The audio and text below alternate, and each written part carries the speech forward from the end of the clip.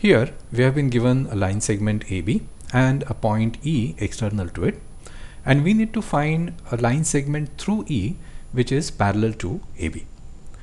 Now drawing a parallel line is pretty much like taking a U-turn because when you take a U-turn you end up going parallel to your original direction. And how do we take a U-turn? Well one can think of it as taking two 90 degree turns in the same direction. So suppose you are going in this direction then you take a right turn and then again another right turn you end up going parallel to your original direction. Some people call it anti-parallel but here we are not really concerned with the sense whether we are going to the left or towards right doesn't matter. So that's a concept we will use here. So what is the meaning of taking a 90 degree turn? That is like drawing a perpendicular.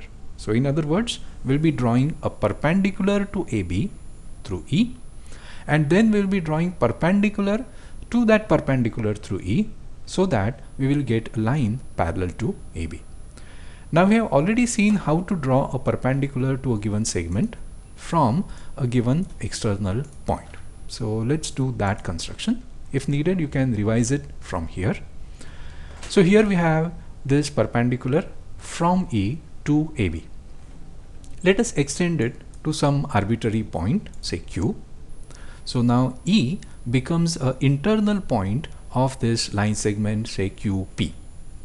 And then we'll be drawing a perpendicular to this line QP through the internal point A.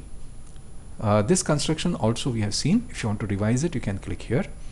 So FG is perpendicular to QP and QP is perpendicular to AB. So therefore FG is parallel to AB as required and it also passes through E as we wanted. So that's the construction.